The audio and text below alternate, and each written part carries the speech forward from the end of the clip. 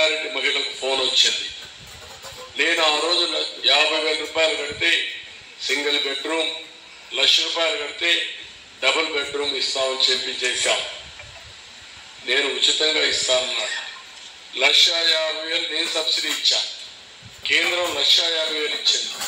Infrastructure పూర్తిగా మేమే పెట్టుకున్నాం. ఆ ఇన్ఫ్రాస్ట్రక్చర్ కూడా మీరు చూస్తే బ్రహ్మాండమైన ఇన్ఫ్రాస్ట్రక్చర్ టిట్కో హౌసెస్లో వెడల్పైన రోడ్లు.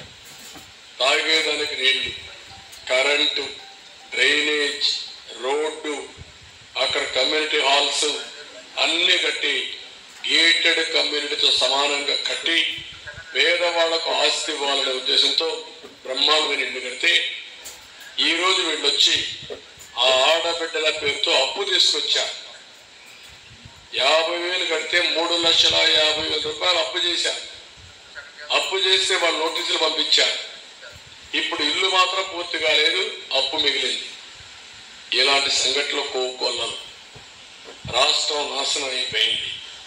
భద్రత అనే మాట లేదు. ఎవరికి రక్షణ లేదు.